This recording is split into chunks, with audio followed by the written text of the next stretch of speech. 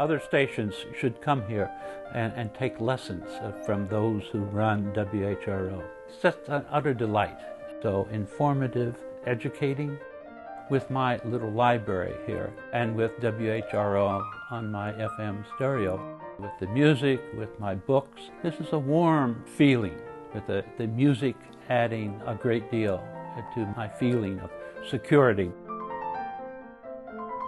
I want to return a, a favor so that other people, long after I'm gone, can reap the same rewards from listening to WHRO and the same sense of enjoyment that I have long enjoyed. This is the kind of richness uh, that the historical past is brought forward through music. It's almost a national treasure, I should think. It's just phenomenal.